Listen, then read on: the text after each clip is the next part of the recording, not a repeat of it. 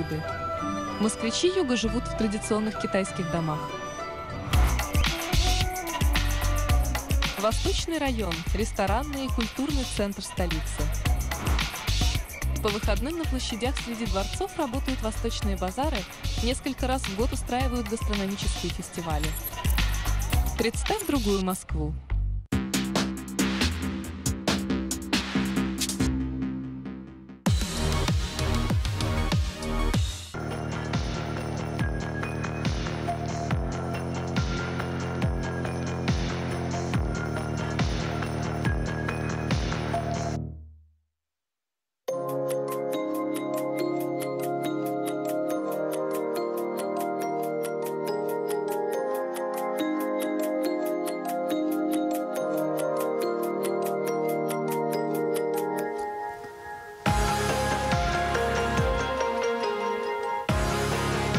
Прямом эфире Владимир Калякин. Доброе утро, дорогие друзья. С Новым годом мы вас всех поздравляем. Это телеканал «Москва-24». Сейчас расскажем о самых актуальных новостях уже Нового года. А, большинство москвичей, естественно, встретили его дома, но некоторые по традиции все же решили прийти к Красной площади, а она была закрыта. Доступ ограничили с вечера в рамках антиковидных мер. Однако толпа все равно собралась, люди стояли за ограждениями и не очень-то реагировали на просьбы полиции разойтись. Ковидный 2020 наконец остался позади. Год был, мягко говоря, странным, и провожали его москвичи тоже в необычном формате. Столица обошлась без привычных концертов, а бары и рестораны после 23 часов гостей не принимали. Тем не менее, празднику это точно не помешало. Как город встретил Новый год в репортаже нашей Веры Морозовой. С Новым! Вместо привычной новогодней музыки и концертов, звуки хлопушек и объявление о том, что вход на Красную площадь закрыт. Но это не остановило тех людей, которые решили встретить Новый год, например, на Манежной площади. И настроение себе создает каждый, кто как может.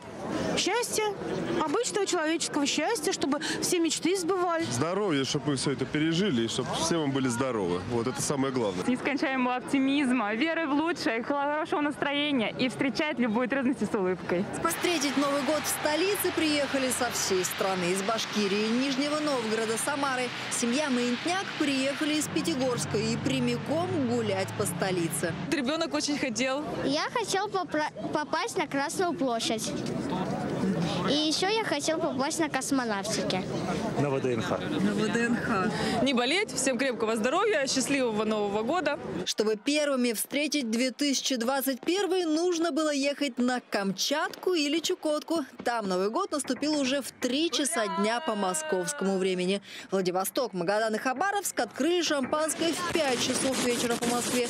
Вслед за ними Якутия и Амурская область. Последними Новый год встретили жители Калининграда. В Москве уже целый час звучали праздничные тосты и запускались фейерверки.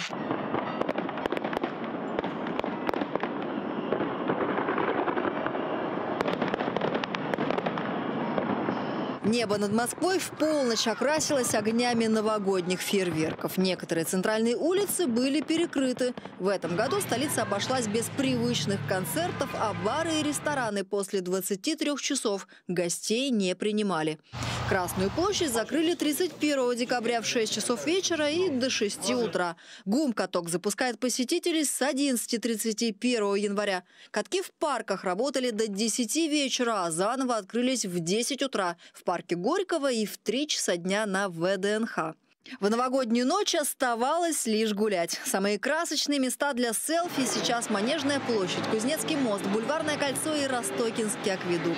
Метро и наземный общественный транспорт работал всю ночь, бесплатно. Впрочем, ночная Москва с 31 на 1 была не столь многолюдна, как обычно. Видимо, столичные жители бой курантов предпочли встретить в домашней обстановке. Вера Морозова, Антон Самсонов, Виктория Щекина, Михаил Кузняков. Москва 24. Ну а первым подарком 2021-го москвичам от погоды стал э, жесткий ледяной дождь. Улицы и проспекты покрылись толстым прозрачным панцирем. Город превратился в один гладкий каток. Из-за этого более 10 тысяч коммунальщиков перевели в режим повышенной готовности. Бригада ЖКХ тоже.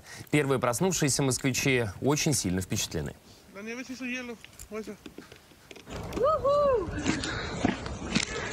Se empezó a derretir la madre, mi compadre. На улице, кстати, очень туманно и идет дождь. Ну, как вы, надеюсь, заметили по моим очкам. Вот такая погода у нас. 1 января. Вот. Стекла в машинах бьем. Головой. В аэропортах из-за ледяного дождя были задержаны или отменены 105 рейсов. На взлетно-посадочных полосах образовалась наледь, одно из самых опасных явлений для полетов. Службам потребовалось время на чистку и обработку полос реагентами. Переносимся в Сочи. Там фейерверками подожгли лес. Пожар вспыхнул на горе Пикет после запуска новогодней пиротехники. А Рядом находятся садовнические товарищества и село Верхний Юрт. Пламя удалось остановить, возгорание ликвидировано, никто не пострадал. Многие даже посмеялись, э, потому что, как вы уже, наверное, обратили внимание, огонь принял неприличные очертания. Это заметили очевидцы, поделились кадрами в сети, выражаясь фигурально и, правда, с лесом поступили не очень. А в комментариях к ролику люди шутят, э, это, возможно, символ Нового года. Ну и далее эфир э, продолжит программа «Сделано в Москве». Приятного просмотра.